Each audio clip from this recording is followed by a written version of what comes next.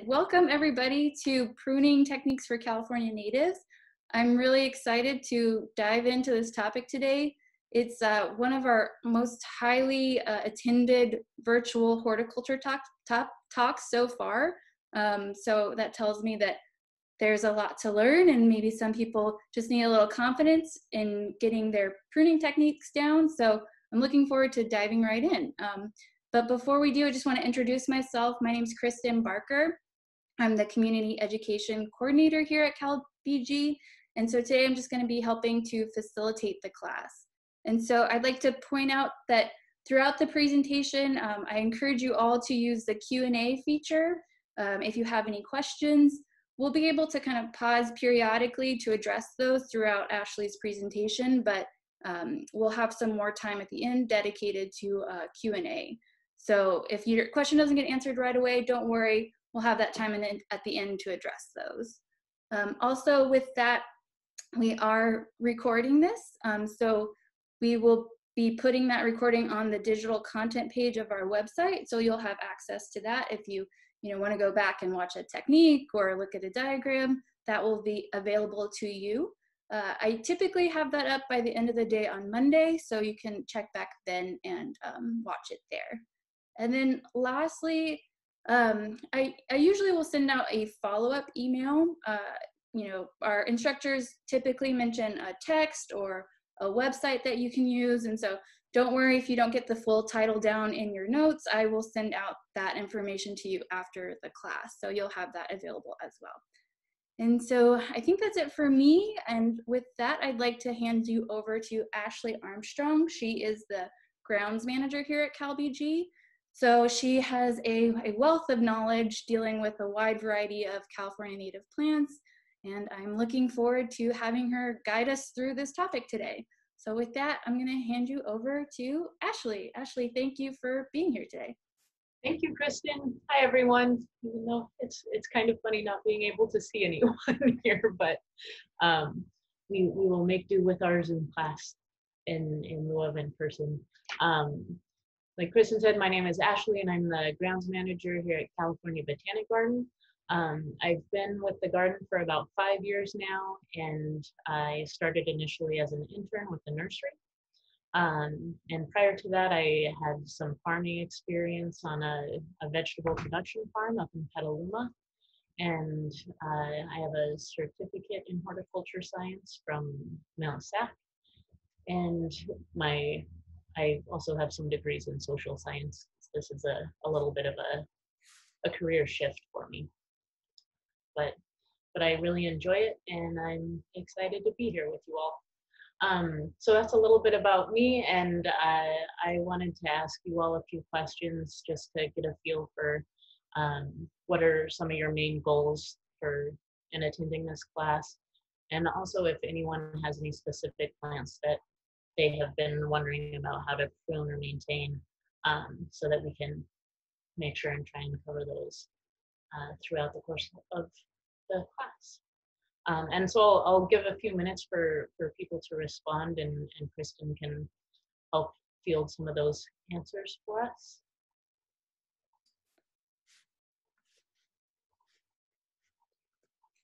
Sure, so if, if you wanna um, go ahead and type in the chat I can I can uh, relay those to Ashlee.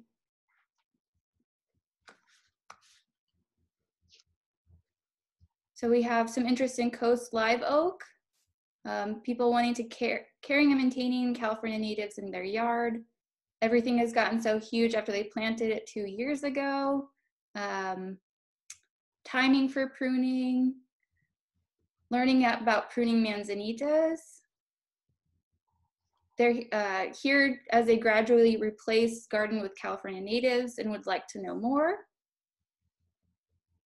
Somebody has been frustrated with runaway natives in their backyard garden. I'm guessing maybe like meaning volunteers, probably.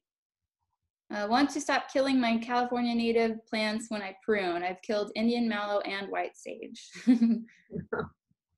So Ceanothus and sages is another, manzanitas again, timing techniques for pruning. California sagebrush, how to prune that one. Oh, resources for finding a gardener that knows about natives.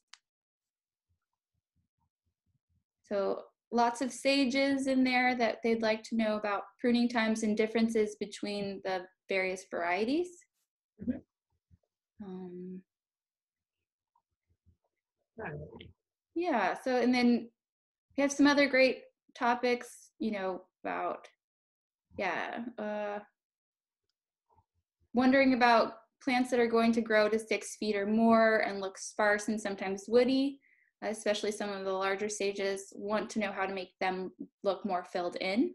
Mhm. All right. Yeah, Okay. so lots of great questions. yeah, we, we have a, and and some uh, a lot of this will will be covered and and we can uh, try and make some some time for for things that that I might have missed in, in the presentation. Um, so with that, we'll uh, go ahead and start with an overview of the class and thank you everyone for for participating.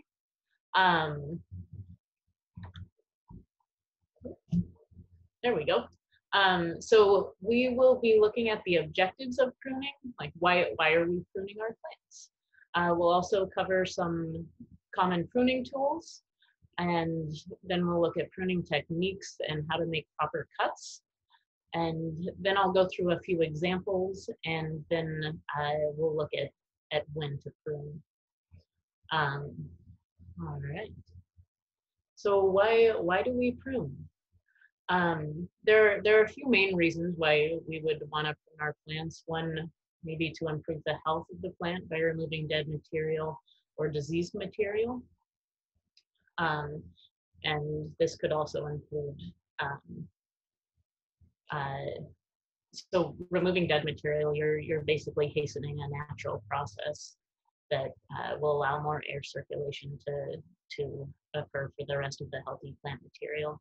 Um, diseased material you can sometimes prune out sometimes it's it's often too late by the time that you're you're seeing signs of, of disease um, but one tip in, in pruning back diseased material would be to um, cut back quite a bit be- before the disease or dieback starts um, just because the pathogen would would be present also in the, the adjacent material um, you may want to improve the plant structural integrity, um, and that could include branches that are crossing.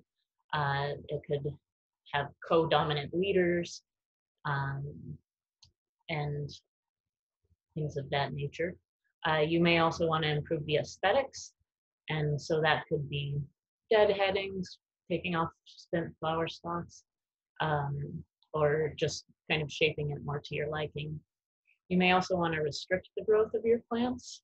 And if if you haven't overplanted in your garden, you shouldn't have too much of a problem with with this issue. Um, but you will usually run into plants growing over into sidewalks or low-hanging branches and pathways that are just kind of hazardous for, for people walking by. All right. And so now we're going to look at a few pruning tools. Um, and so basically these are just tools that I'm sure many of you are already familiar with. Um, and kind of the most important thing when you're choosing what tool to use is to choose the right type of tool for, for the size of, of the cut that you're going to making, that you're going to be making. So you, we have, uh, and you don't want to use like hand pruners for something that's like an inch in diameter. You know, no, not only is it going to be hard for for you to to do, it's it's likely to cause some damage to the branch or stem that you're trying to cut, and it might mash that, and and you will not accomplish what you set out to accomplish with with your pruning. Um, on the far left hand, there are some of the screen. There are some uh, needle nose pruners, which are really lightweight and really easy to handle um, herbaceous material. Um, it's just easier on your hands to have a more lightweight tool um, than your standard pruners. Uh, Felco is, is a really good brand.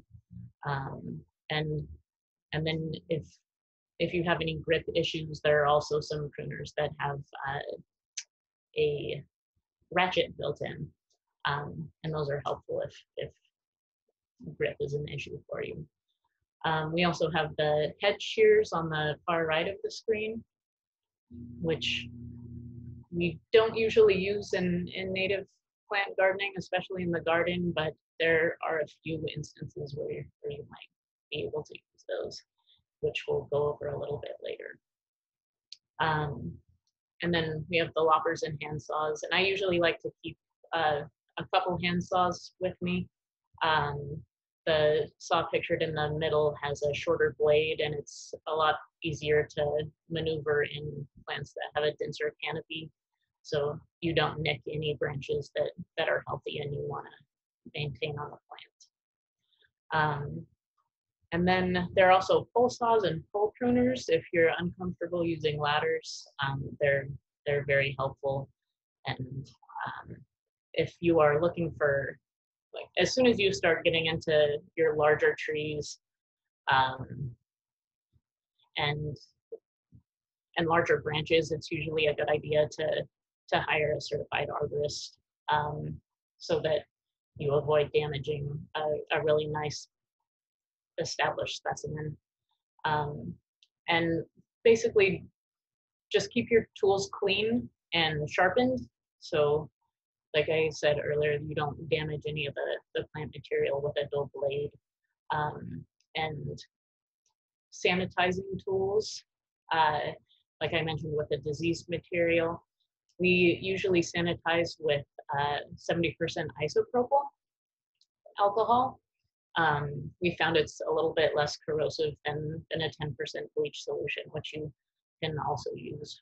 Um, but it's the isopropyl is kind of an easy um, solution. You can use a spray bottle and and just spray in between each cut if if you're concerned about contaminating your, your plant material. All right.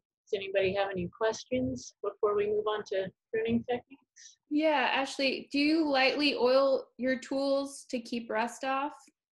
Um, we will use some WD-40 to kind of clean any any rust off of the tools every once in a while, um, but we don't regularly oil the, the tools.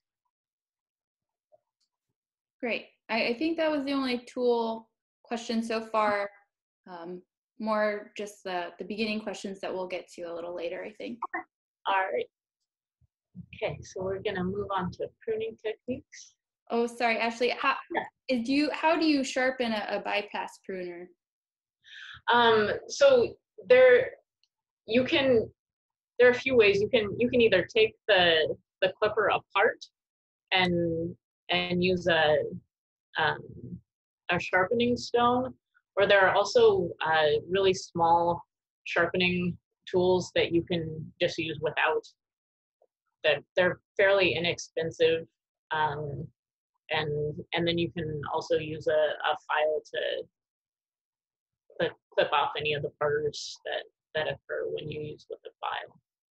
Um, if that answers your question. Yeah. Okay. um, okay, so we're gonna move on to pruning techniques. Um, so deadheading is uh, essentially removing spent flower stalks. Um, and it's basically to improve the aesthetics of your garden. Um, if you are deadheading and you and habitat is important for your garden, you may want to consider waiting until the um, until the flowers are completely dead and the seeds have formed, um, just to provide some some fodder for for small animals and birds. Um, well, if you're deadheading in the springtime, for many plants, you'll find that they'll be able to push a second bloom. Um, the Trichostema, the uh, cultivar of Trichostema, the midnight magic or woolly blue curls, um, if you deadhead that continually, it, it will bloom all year long. Um, but sages, verbenas, uh, woolly blue curls, and celia, those are all plants that, that you would be, be deadheading. Um, pinching is a technique that we don't use often in the garden, um, but you you can use it to uh, it encourages new growth, um, and it basically is just removing the the the closest material to the end of of new of a new stem. Um, so it'll produce a flourish of, of new growth there. Um, you can pinch ceanothus after it's finished blooming. Um, you which so just removing the the small amount of material that is left where the the flower has has been spent. Um, you can you can also pinch some of the the island snapdragons. You can pinch some of the um, sages. I, I wouldn't do that to white sage necessarily, but maybe some of the the Cleveland sage, which are a little more uh, they have kind of a more vigorous growth habit than than your white sage. Um, and if if you are pinching sage, you are gonna want to be careful because you may run into a point where you're pinching off the um, if buds have already set and you you may end up with no flowers if you cut those off in the springtime, which would be disappointing. Um, coppicing is also a, a common technique that that we use, and coppicing people are sometimes afraid to do because you're essentially cutting the, the plant down to the ground or just leaving about a foot of material. Um, so there, there are a few plants that can be coppiced. Uh, epilobium is one, or um, California fuchsia. Um, and that can be cut down to the ground, and we'll look at some examples of that later in the presentation. Um, Encelia californica or brittlebush, we, we coppice regularly. Um, some of the Baccharis or coyote brush can, can be coppiced as well. And that's one that we would not coppice every, every year. It might be every four years, say, just to rejuvenate some of the, some more dense growth. Um, shearing is uh, with like the hedging shears that we showed in the tools section earlier is something that we don't usually do in the garden, but there are a few plants you, you can shear Baccharis. Um, and there are a few plants that I don't know, like Bahiopsis, and the common name for that is not coming to me at the moment, but it, I, and I don't know how common it is in the nursery trade. So, uh, but it has very small leaves and just a profusion of flowers to where it would just be impossible to cut them to deadhead individually. So that would be an instance where where shearing would be appropriate. Um, edging and uh, is another technique, uh, and I think people often think of using a string trimmer for along their lawns on the sidewalk. Um, but edging can be done very artfully. Um, and when you have plants that are growing into a pathway, uh, most native gardens are not a very don't have a very formal appearance. Um, so you can cut a plant back naturally. Um, you want to try and make your cuts rather inconspicuous, so avoid cutting um, at at the same point along the pathway or whatever your your edge may be. If you kind of make variations in how far back you cut, so it has kind of a natural um, edge and also cut from underneath the plant. So it's a little bit less conspicuous. Um, hedging is something that that we don't usually do. There are a few common native plants that can take hedging. Um, your Rhus ovata and integrifolia, the, which is the um, lemonade berry and uh, Rhus ovata is um, that's not coming to me either right now. um, sugar bush, sugar bush and lemonade berry. Um, they can be hedged uh, and so can max, max, wax myrtle. Um, and when you're if you are going to hedge and you have kind of a square shape, it's important that you taper as you get towards the top of the plant. Um, that way there you're still going to allow light to hit the bottom branches of and leaves of the of the plant. So if you have a hedge that is perfectly straight up and down, you're probably going to see some die back at the at the base of the plant because there's just it just won't receive the the light that's necessary for it to to continue to thrive. All right, and now we're kind of moving a little bit more into some of the small shrubs and and trees um, in terms of corrective pruning. Um, I mentioned a little while ago that crossing branches might be something that you would want to remove. And pictured here on the right um, is a is a buckeye, and you can see this this smaller branch is is crossing over the the larger lateral branch, and so eventually this could rub against the two branches could rub against each other, and that would not allow a proper callus to form, and so that would be a point that would be prone to to infestation from uh, any pathogen. So that would be uh, something to to remove. And it also, it just has a very odd growth habit. You can see it it starts growing uh, more vertically and then kind of does a very drastic um, move down towards the towards the ground. So so that that would be a, a branch to remove. Um, also, the angles of, of some of your branches uh, as they attach to the to the trunk of the tree. The wider the angle, the more stable the the branch will be. Um, so if you have some branches that are very narrow, uh, like 40, about 40 degrees or or so, um, that could be a candidate for removal, just so you have a, a stronger connection to the main trunk and provide for so to ensure the structural integrity of, of the tree. Um, heading and thinning are, are also used in both shrubs and, uh, and small trees. Um, heading, you're, you're basically shortening the branch, uh, pulling in the, the uh, basically circumference of, of the plant. Um, and we'll talk about in the next slide, we'll, we'll look at where you would want to cut if you were heading back a plant. Um, thinning is also used just to remove entire branches of the plant, just to allow, again, more air circulation to, to material that, that you want to be there and remain healthy. Um, and thinning can, you the diagram on the on the far right is just a, a, shrub that has been thinned. You can you can see the older branches have been chosen.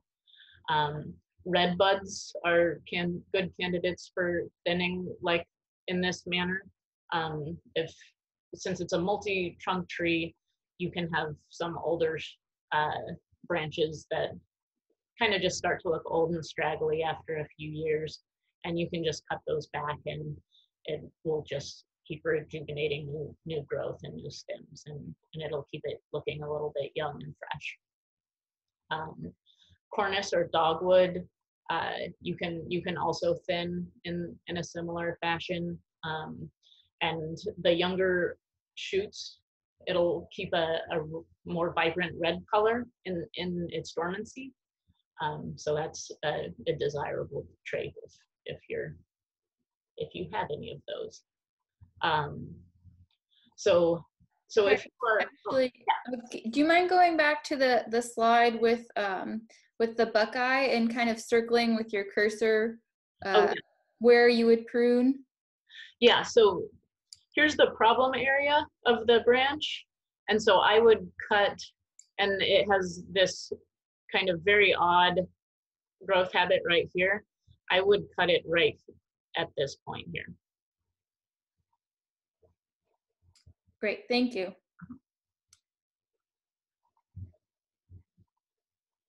Um, so now we're kind of going to look at where to you would want to make a cut. so if you were heading back a branch or if you have a shrub that you're pruning, um, where the best place is to cut. So we'll look at a little bit of vocabulary here. You can see in the photograph, um, you have nodes and internodes and buds. And nodes are basically just the, the points of the plant of the plant where leaves, buds, or other lateral stems or branches are going to grow from. Um, and the internode is just the, the space in between each node. And so if we're pruning, we we want to go close to, to the node here. We want to stay away from pruning something at just below a node because you're going to have this this space which is could invite mold or or contamination um, and if if it doesn't do that it it just looks like a, a stick and it's it's just kind of aesthetically not not pleasing. Um, so when you when you do make your cut um, you can see the the buds are uh, angled a little bit you want to cut at the same angle about a 45 degree angle and going in the same direction as your bud um, and the buds will also tell you which direction new growth is going to come from.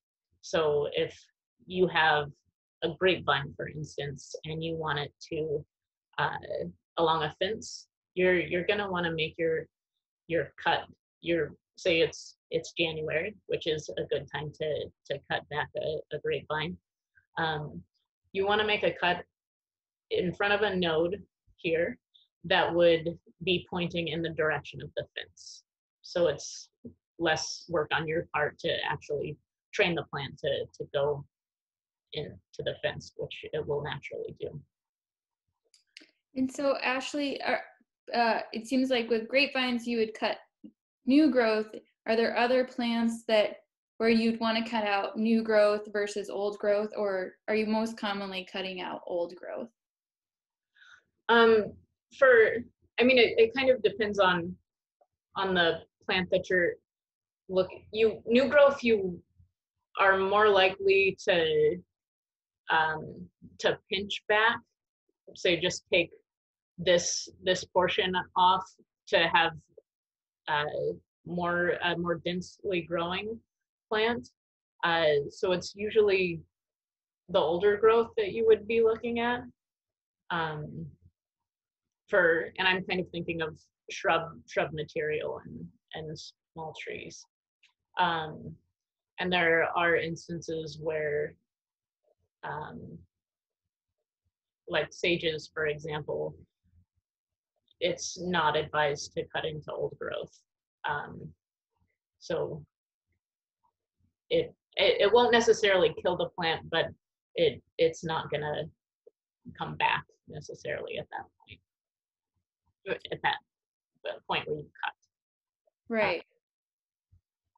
And so, kind of with that, with like the sages, about how many and pinching, how many buds would you remove when you are pinching? Um, this person is specifically thinking about Cleveland sage, like a, a hybrid like Allen Chickering. I would only take like to about there to the second second bud.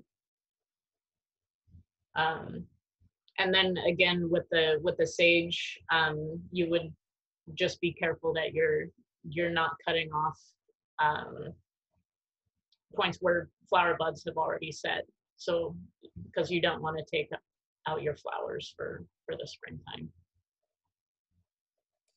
Great thank you. All right. Um, and so this is also applying to uh, small trees and woody shrubs. Um, when you have branches that you're you're looking to remove, you're you're going to notice that there's some swelling at the base of the branch. And this is called the branch collar. And it's where the trunk tissues overlap with the branch tissues. Um, and there's also going to be a bark ridge where the uh, branch meets the, the trunk bark. And the branch collar is this special area that you don't want to uh, cut into, and it it has uh, cells that can create chemicals and enzymes that will allow the tree to compartmentalize. Um, so basically, if this branch here becomes infected or has some pathogen of some some sort, this branch collar will create cells to compartmentalize at that at this point so that the that it will be isolate the pathogen from the rest of the tree. So when you when you cut a branch, you want to cut make your cut about here, which so you're not disturbing the branch collar, but it also should be close enough to the branch collar so that it can effectively make a callus over that point. So if you make a cut, if you leave stumps like um, which are basically cuts that are too far away from from the branch collar or node if you're doing cutting smaller shrubs or herbaceous material. Um, you're the uh, the branch it's going to be less effective in its ability to have a a good solid um, healing callus of that area. So the, these are some examples of of a good cut and a bad cut you can see in the in the good cut here, the collar is is intact, um, and the the cut is at a an angle with the the collar, and it's uh, not too far away from from the collar. And then the bad cut here is just flush with the trunk, and it cuts off of the collar, leaving it more susceptible to, to disease and pathogens. And this is an example of another buckeye. Uh, this was pruned to remove dead wood. And you can you can see in the in the picture there's a little bit of swelling at the base where where the collar is, and the cut has been made, not disturbing the collar but close enough to the collar to so that it can effectively create a, a callus for the wound. And the same is true over here. And then I have an example of, of some bad cuts. Um, this was uh, near a walkway. And so I assume this was cut to remove it from, from the walkway from getting in, into people's way. But you can see that they're, these, would be considered stumps. They're very far from the collar. Um, and since this is a smaller branch, if you can kind of follow it back. A more proper way to have pruned this would be to follow this branch all the way back to the trunk and, and cut it there. Um, so that's an example of a bad cut. Um, and if you are pruning trees, small trees that have uh, branches that are one to two inches in diameter, um, it's best to make a, a three part cut and so the because if you if you just were to cut your branch here um, then the weight the sheer weight of this branch would cause the bark underneath here to just strip down the, the trunk of the tree. So to avoid that you would make your first cut underneath the branch at the one. And it doesn't have to be a, a large cut and depending on the size of the branch it can be like half an inch to to an inch or so. And then your second cut is going to be beyond that. And that's going to relieve the weight of the entire branch. And it will, it, there, it will like crush this piece here. Um, and it will uh, stop the stripping from happening to the rest of the, um, to the trunk. And then it'll leave you with a little stub. And so you're going to be able to make a final cut very cleanly. Um, just above the, the branch collar. Um, and that's a common practice that we, we use quite often and it's it's very helpful and it saves a lot of our trees from damage. Um, are there any questions after that? Um, well, kind of going back to um, talking about old wood on sage. So mm-hmm. somebody is curious um, if so if you're avoiding cutting old wood on sage, is there no way to cut back and shape an overgrown sage, specifically Cleveland sage and white sage, that they're kind of overrunning their garden at this point? Um, I I have seen um, on Las Pilitas website. I have seen them cut into Cleveland sage cultivars and to older wood and probably to about two two feet of plant remaining plant material and it has come back in in their examples um, but I have not had that experience specifically. Um, white white sage, um, it it might just be a you might just have to re- if it's too old and too woody, then it you might just have to replace the the plants. Um, unfortunately, um, if if it's not pruned, if the younger growth is not pruned regularly, then it it will be a little harder to deal with when you're just cutting into the hardwood. Great. yeah, no. the most hopeful answer. yeah, I, I, guess you could kind of try it out, and then if it if yeah. it doesn't come back, then you know you need to replace. Yeah, it. I mean there there is a lot of experimenting with with native plants also, and if you have something that you don't have any literature on or there you just can't find it anywhere else and you have it in your yard um, it, it's nice to observe it over the course of a year or two just to see what the growth habit is um, to see how you might possibly treat it. Um, if if you have something that is pushing out new growth from the base you may be more likely to be able to coppice it than something that pushes out new growth from existing stems in the springtime or whenever it starts growing, uh, then you would probably not want to coppice that and be a, a bit more conservative with your your pruning. Um, but yeah, we will go on to some some deadheading uh, examples, and there there are some coppicing examples here. Um, I I have uh, muted the sound on the videos, uh, so there's nothing wrong with your your computer.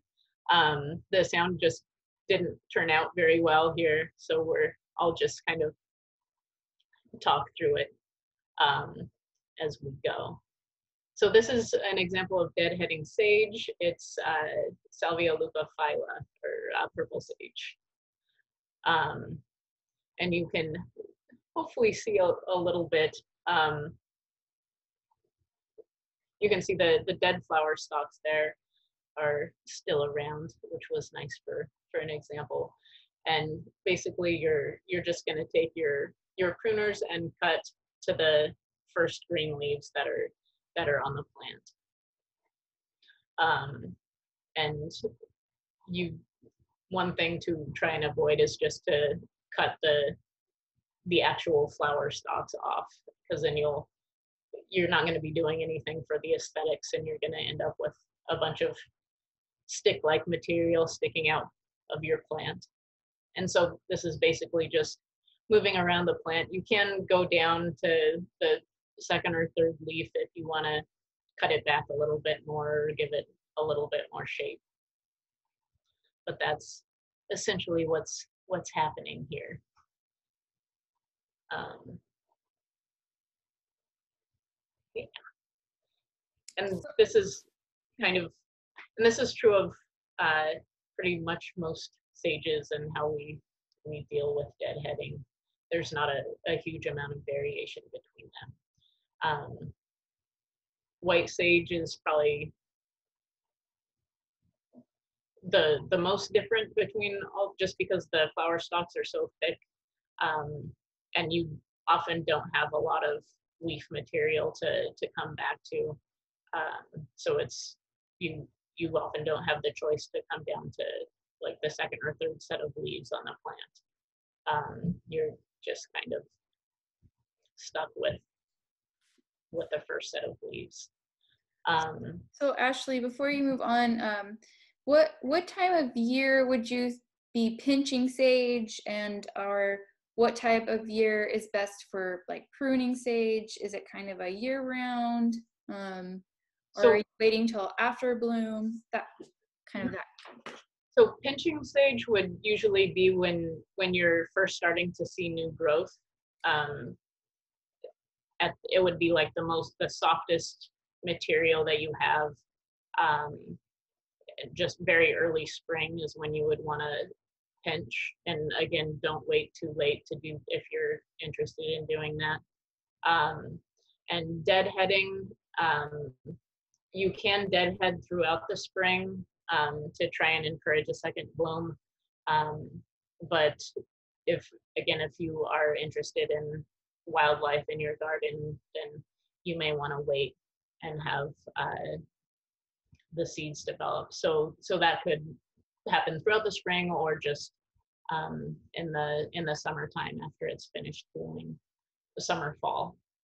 Um, that that answers your question. Um, Thanks. And this is an example of where I I did cut into some older wood and some Allen Chickering.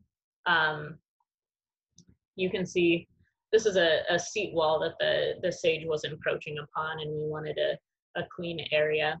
So this is an example of uh, like edging where the material was cut back to the same point at throughout and it just kind of has a there's just a lot of woody material and um, it doesn't have a very clean look um, so I, I did cut into the into the old wood and I'm not expecting any new growth to, to come from this point. Um, but it did, it does just clean up the, the look of the plant. Um, so that, that is an, an option for, for sages. Um, and then I have another video of uh, the woolly blue curls being deadheaded or Trichostema lanata. And Trichostema is a lot easier to deadhead just because the the internodes are the space in between each each leaf node is significantly smaller and so you can be a, you can afford to be less picky about where where you cut. And you can see there there's a flower stalk that has three uh, stalks. And so you, want to when you're deadheading you essentially want to make as few cuts as possible. Um, so if you do have uh, like a three pronged um, flower stalk, you you want to go below, just below that, just because you'll you'll end up if you just go right under each flower stalk, you're going to end up with a kind of a funny growth habit with just lots of um, shoots coming out from each point that you've cut so it'll just have a little bit of a cleaner appearance. Oh. Um, this is California fuchsia or, or Epilobium canum. Yeah, I'll play this video as well. And this is a, a late bloom, blooming, blooming plant. um, so this is about the time that you would want to coppice it. And you can see it just gets really straggly and dried out um, and it will start coming back from the base. Um, we we try to zoom in a little bit. I don't know if it's it's that visible, but you're basically just going to cut down the entire plant to about an inch. Uh, you're going to leave an inch of material, um, and you will have uh, a lot of times you'll see the new growth starting to come out, and you can just cut back to that point and just kind of be careful not to cut into that growth.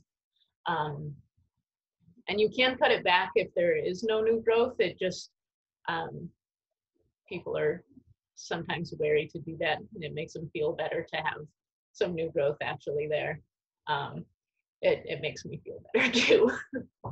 but uh, so so that's basically how how we deal with the epilobium and if if it looks okay for one year, you can skip coppicing and, and do it the next year. But we, for a lot of our, our epilobium, we- we will end up coppicing it every year. And this is just a, in case the video was hard to see, this is just a before and after picture. You can see all the old dead stalks here. Um, and this is just a, a cleaned up, um, excuse me, photo of epilobium that's get, been coppiced and with the, the new growth there. And so, Ashlee, uh, did can you tell us again when you're coppicing California fuchsia, and then also how long after planting it would you coppice coppice it? Um, I would I would wait to coppice it. If if you've just planted epilobium, then I would I wouldn't coppice it right away. I I would let it kind of run its course for at least for the first year. Um, and but in general, now is is the time to to cut back the epilobium in the late fall because it I mean, depending on the season, it, it can keep blooming into the fall. So winter time would be the time to, to cut it back. Um, it, if you're in a really cold area, you, you might want to wait even longer until March because that, that dead material or will, will provide the new growth some protection from frost. Um, so if, if that's in it, like it's not too bad of an issue for us here most of the time. Um, but if you are in a colder area, then that that might be something to keep in mind. Um, this is uh, Encelia californica or, or brittle bush, um, and it it generally tends to look a little bit terrible in the summertime. Uh, so we we do it um, to about a foot of of growth.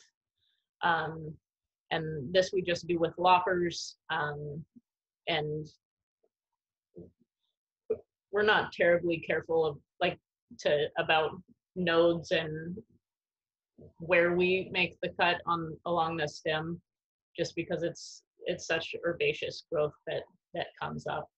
Um, but it, it will look something like this once once you've finished coppicing and a few depending on the time when you coppice it a few weeks or months later it, it will start pushing out new growth. Um, and it it does make a significant difference in the in the you can tell when which ones have been coppiced and and which ones haven't based on uh, their their appearance in the springtime. It, it they they look quite a bit nicer after they've been cut back um, and this is a, a small tree. This is the Palo Verde. And so this is just an example. This small branch, um, it has out here, further past the, the camera, it kind of hangs down. This is in the container garden. So um, it's often is in the way of people and hits people on the head as they walk through. So we're just going to remove that branch from, from the tree and we're just gonna cut it back to the to this lateral branch here. And you can see uh, where my fingers are, there's a little bit of a swelling, which will be the, the branch collar. Um, so we're we're not gonna cut into that material, but we'll we'll cut at, at that point. Um, and I I chose some some pruners because it's a little bit too too large of a branch for for hand pruners.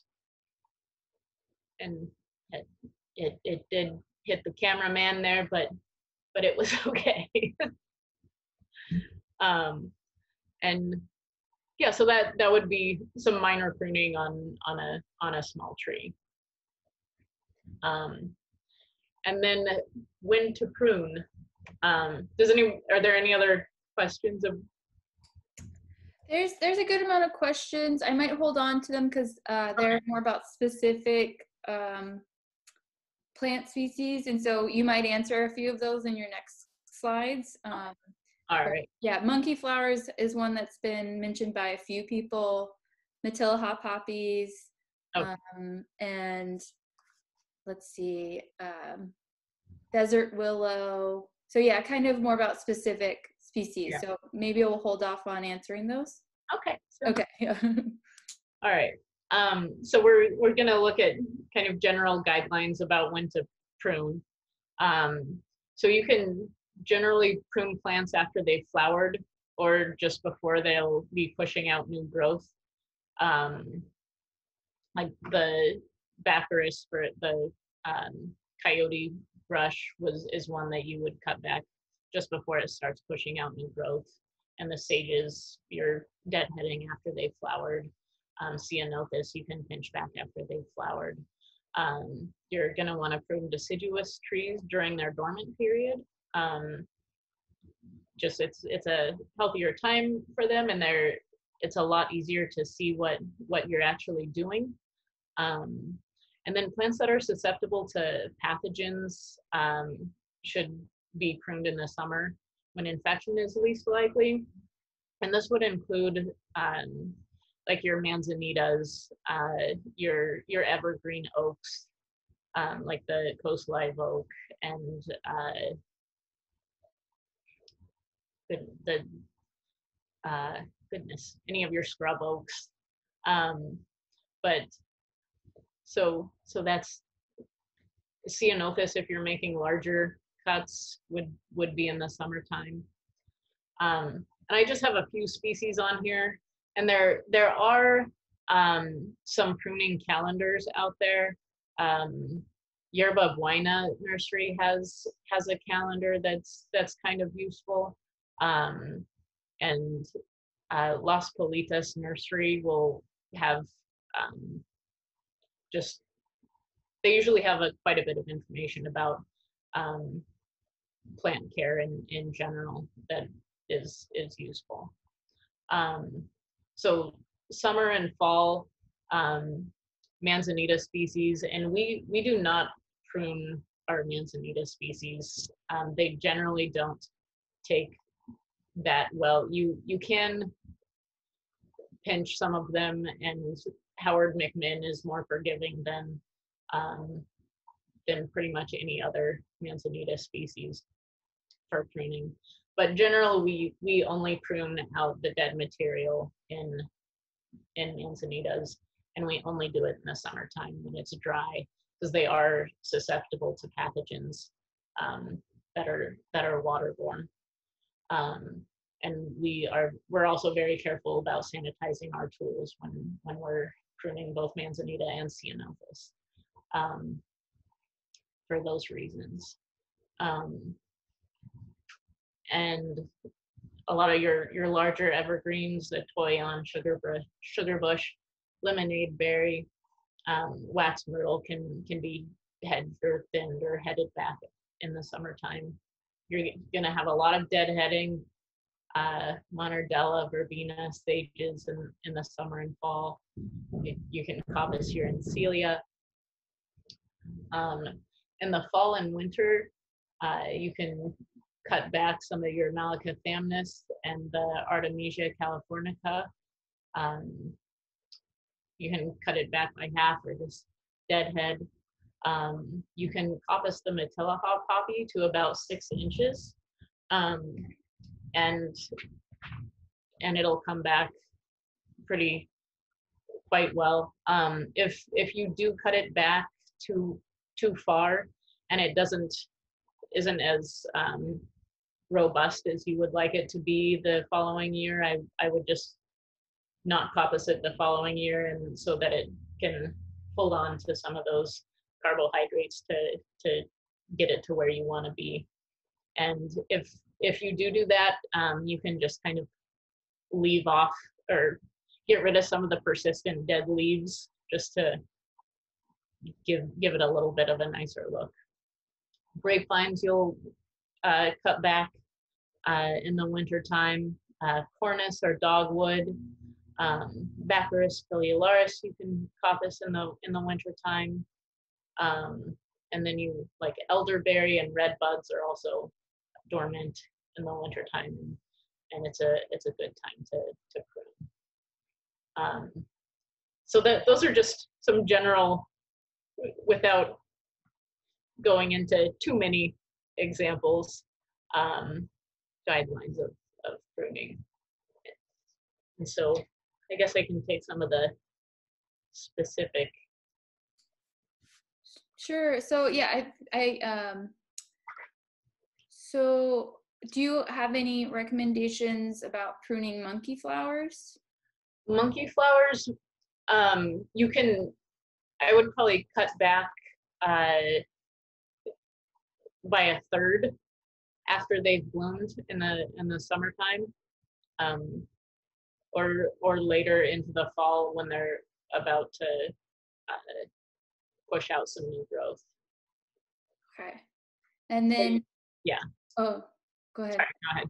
Oh, I was just gonna um, move. You kind of mentioned uh, Matilija poppy but somebody asked how to trim and control Matilija poppies. Is it okay to coppice and what time of year? So if you don't mind repeating that. Yeah, so the Matilija, did, did you mention something about controlling? Like, yeah, they asked to trim and control. I think just like okay. keeping it okay. under control. Yeah, so so Matilija poppy, you you can coppice um, to about six inches. Um, if you coppice it further than that, it it, you're not going to kill the plant. It will come back, but it, it probably won't be as, as robust as, as you'd like. But you can coppice it back to six, about six inches or six to a foot every, every year and it should be okay. And, and you'll do that in fall and winter, right? Yeah, fall and winter. And then somebody asks um, if they didn't prune a California, I think I think they grapevine one year. Is that okay? What happens if they don't prune their vine in one year? Yeah. No, it it is it it's okay. it's not gonna it's not gonna kill the plant. Um or any it, but yeah, it's it's good practice to do it if you don't do it one year. We have some that we rarely cut back in the garden and and they're they're just fine. It, yeah, it, it's not like a hugely negative impact on the on the plant to not to prune it. Uh, it'll just be maybe a little bit less of vigorous growth, but it'll be there's no problem. Great. So I guess I'm gonna ask some kind of more um, questions. There's a lot of species questions, but um, I have a question. Do you recommend treating the cut with a sealant product? Um, sealants have, have kind of fallen by the wayside largely um, for a few reasons. They're um, like the the color and the material that they're made out of are they absorb heat, and so it it's um, I and now I'm going to forget the science behind why they're they're not good, but they're generally uh, not recommended. And it's more important that you make a correct cut um, rather than trying to cover it with a sealant. Um, so, yeah, so no no sealants are necessary, and just make sure that you're making a proper cut, and you won't have to to worry about sealants. Great. And so, kind of going back with proper cuts, um, what happens if you were to leave a stub, like you were mentioning, not to leave a stub? What would happen if you did? So if if you do leave stubs, it'll just be harder for the for the plant to create a a good uh, callus over the wound. Um, so either it, is more likely that it can become infected or it it'll just take longer for it to callus over. And so so it's kind of one of two things. It could either damage the tree or it if if it's able to create a proper callus despite it being a stub then then it will be fine. Okay and uh, I just wanted to point out, I, will I'll get you all PDFs of Ashlee's slides so that you can check back on this when to prune calendar. Um, so I'll send that out in the follow-up email.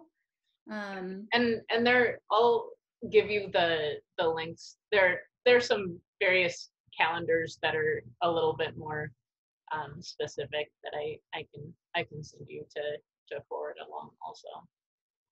And do you recommend any books that deal with pruning California natives that might be great for homeowners, especially? Yeah, there's um, uh, Bart O'Brien put out. I have I have one right here. It's called Care and Maintenance of uh, Southern California Native Plant Gardens, um, and it's very helpful. It has like a really wide range of of plants and descriptions about how to care for them, um, and it's easy to navigate and yeah, it, it's helpful to to have around.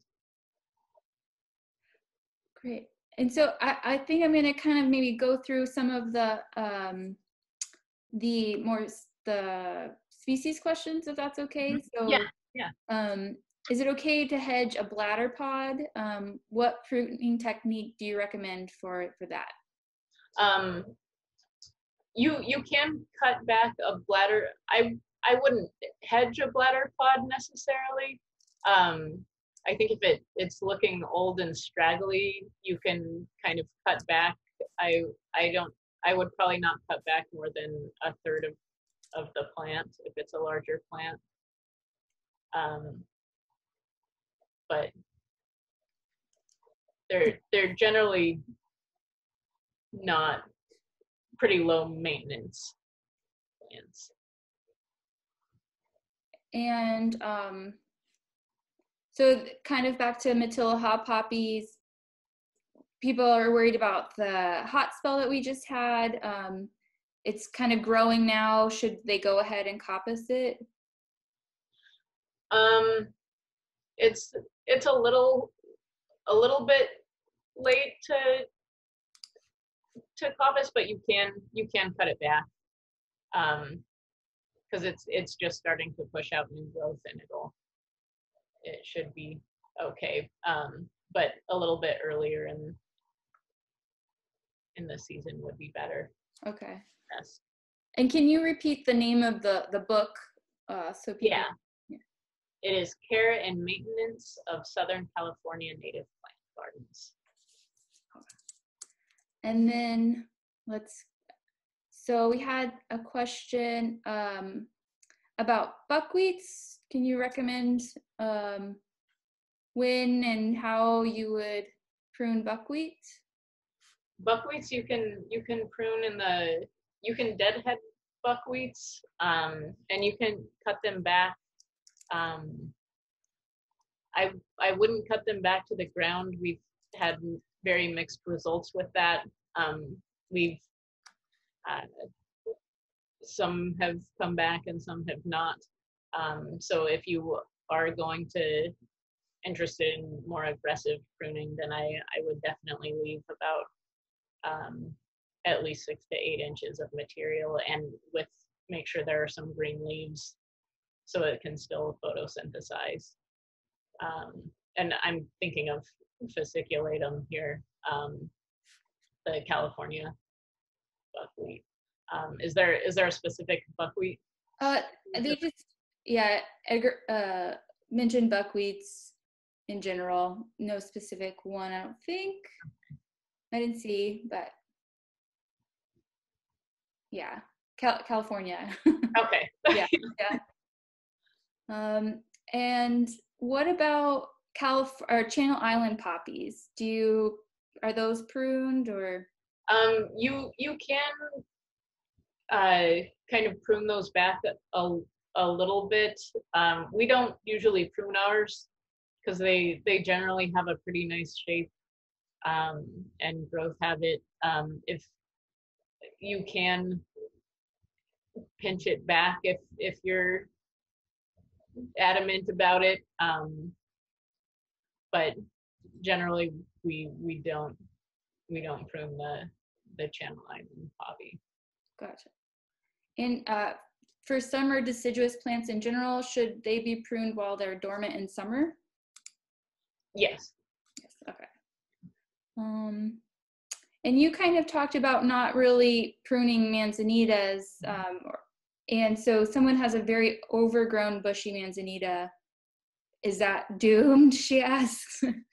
um, you you can prune it back, um, but it it generally a lot of times they they won't have like if you if you cut things back they won't have more it won't generate new growth really so if you are thinning it out um, it's just to have a really sparse canopy um, which may or may not be to your liking.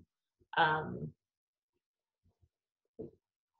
right. it, yeah i i mean you you can try and do some we we have had to remove significant branches from from manzanitas and and they they do survive but they're and maybe that's that's good in this case that they they won't necessarily have new growth at those points. Right. Thanks. And so someone has a specific buckwheat coast buckwheat coastal buckwheat. Do you oh, is that the cinereum the area? Uh latifolium latifolium um yeah i might look that oh yeah i might look that one up actually.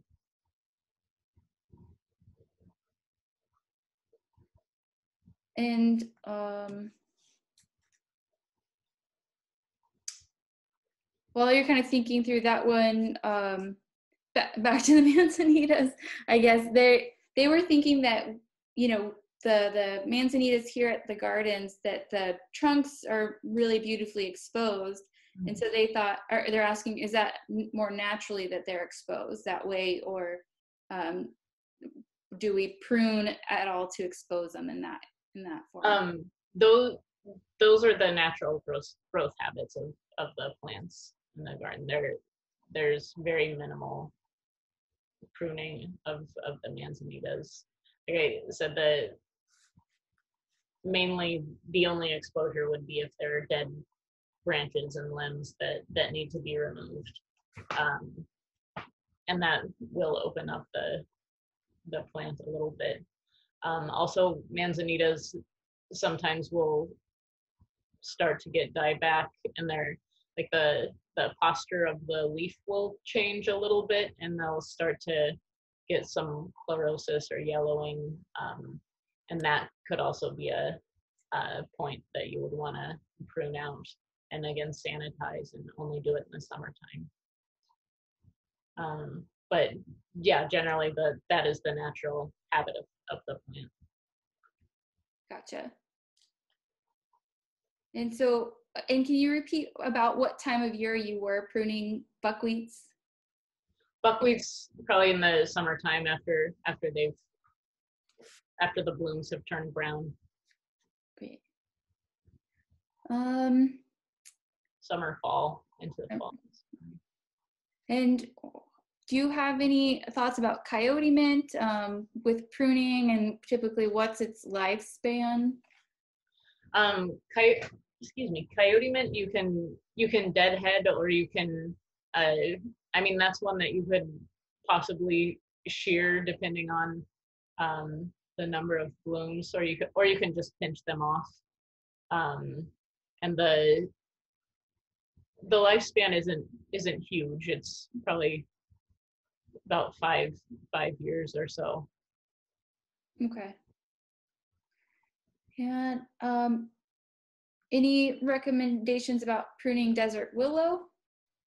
Um, I just treat it as as a small any small tree, like the number one would be removing any dead material um, and then any structural issues um, and any areas that are uh, that are hazardous for people walking by.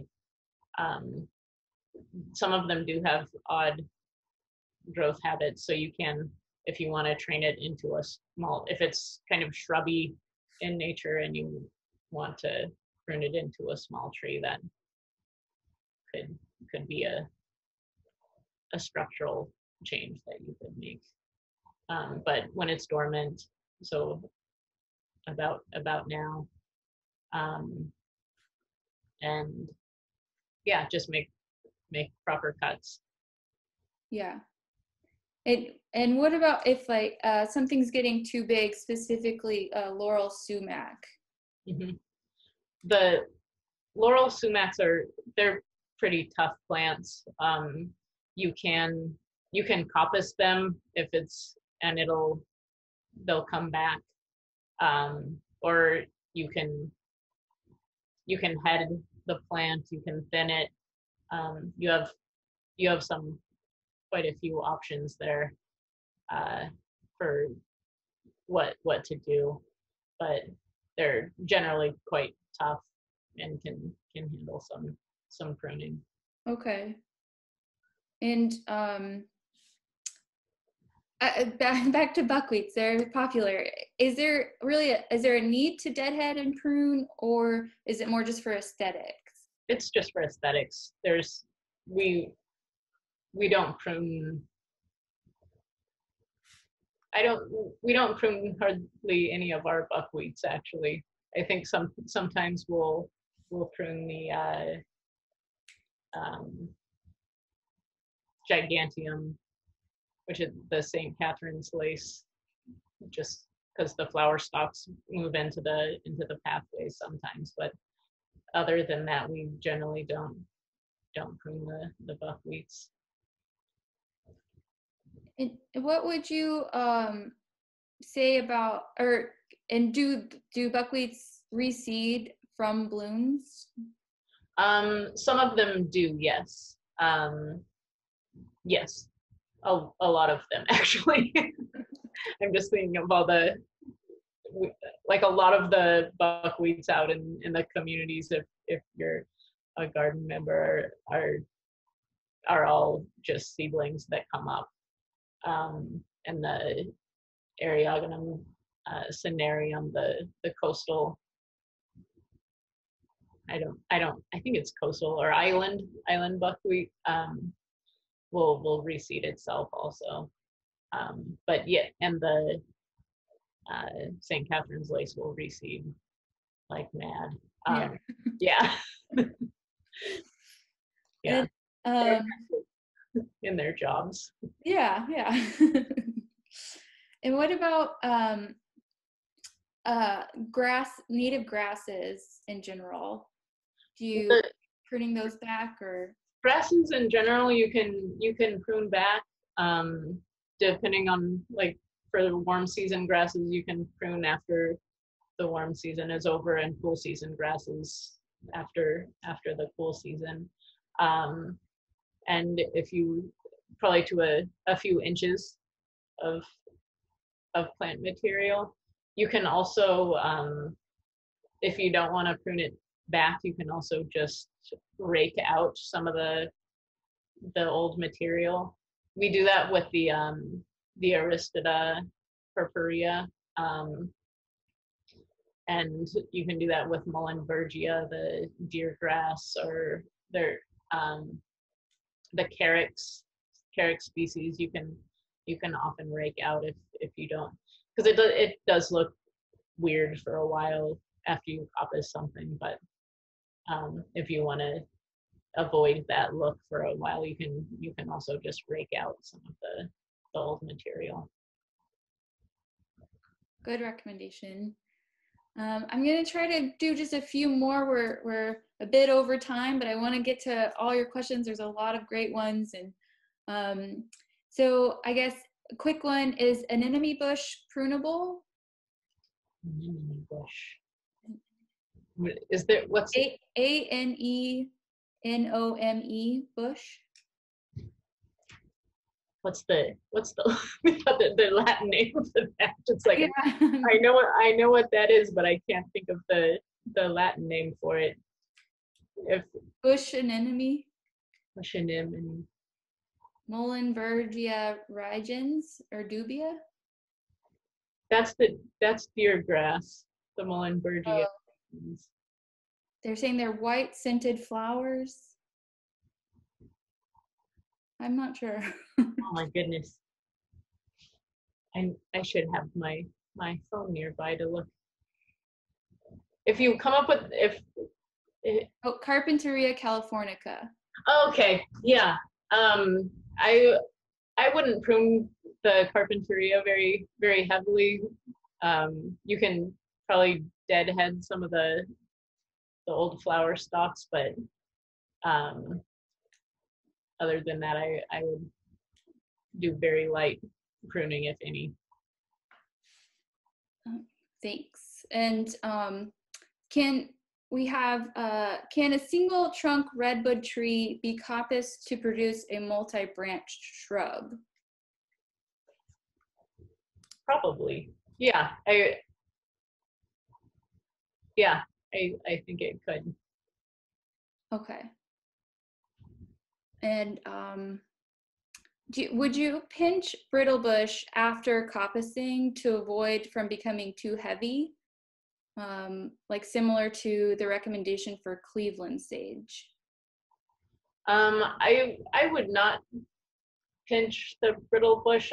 Like coppicing should be sufficient for for a good degree of vigorous growth. Um, and if the only other pruning that I think I would do with brittle bush would be to um, deadhead flowers in, in springtime just to prolong the bloom of the plant. But I I wouldn't do anything beyond once you've coppiced and you have new growth coming up. I, I would tend to to leave that alone. Okay. and then where where should you cut a damaged um, damaged leaves on agave? at the you you want to go back to the to the base of the plant if it's if it's a, a damaged leaf and you can use a a little hand saw usually for that okay and um what about what would you do with a leggy uh, desert lavender um you you can prune that back um especially i say when it's when it's young and you can prune a little a little bit more consistently to have a more fuller because it it does get a bit leggy um, but you can prune it back a, a bit. Um, i'd probably say into into second year growth would would probably be okay okay and then can you briefly speak about uh, pruning mallows yeah. Um, so mallows you can usually just deadhead or cut back the um, like Malacothamnus. You you can cut back a little bit more than say the Sphaeralcea species. Excuse me. Um, uh, you can take down like a, about a third of the plant, and the Sphaeralcea be a little more um, more cautious in pruning and just remove the the spent flowers, flower stalks. Okay. And so I'm just going to do three more questions, um, two specific about uh, specific plants. Uh, what what about Dutchman's pipe? Um, can you prune that, or do you prune that? Um, we do not prune that. Um, and I, I would have to look up if if it takes pruning or not actually. Okay. And um, what about orchid rock rose uh, can that take a heavy pruning? When would you think would that be best to prune? Orchid rock rose i might have to look that up also okay I, I've noticed I'm a common name person, and most of the horticulture staff are Latin names. So yeah, it, is kind of funny. I, it's hard uh, to recognize some of them. yeah, uh, Cistus purpu purpuus purpuus. I don't know. Purpurus. Oh, the oh, so that cistus is is a rock rose, and I don't think that's a native plant actually. Cis. Oh, okay. And well, I guess the maybe um, last two questions. Can grasses be mold and or be like mold be divided? Can grasses be divided? Yeah. I I think Yes. maybe for propagation or yeah, mo- most of them can can be divided, and it yeah, that should that should be fine. Oh, and so I think our last question is more about the book. Um, so uh, in the in the chat, people have looked it up already. It looks like it's out of print, and so very Oh, expensive. Do you know? Um, is there another care or maintenance book? I don't know what we have available online in the CalBG store. Um, Yeah, there. I mean, there there are a few. There's a there's a book that I have on um, maintaining California native gardens throughout the year, um, and I'll I'll give you the the name of that, and it's it's pretty helpful. I I'd say, and it, it does have um, it mentions pruning for each. It's a month by month uh, book, and so it it has some pruning information for each each month that that could be useful. Um, so I'll, I'll give you that the name of that book to send out to everyone. I don't know off the top of my head. Yeah, that would be great. So yeah, I mean, I, I will send a uh, follow-up email to you all with, you know, additional resources, uh, the links, the websites that Ashlee mentioned, the, the book that she's going to get to us, and then I'll send her send you all a PDF of the slides and see if we can get the videos to you too. So you'll have all of this information in one email. Um, you there was tons of questions. I hope we were able to address most of them. Um, uh, you know, it's a, it's a, a a big topic, so we hope I hope you had at least some of your questions answered. Um, and thank you, Ashlee. This was really great, really informative, um, and I hope everybody walks away feeling a little bit more confident about pruning their their California natives. Thank you all. Hope you have a nice rainy rainy day. yeah. All right. Thank you, everyone. Um, and we'll we'll talk to you soon. Bye, all.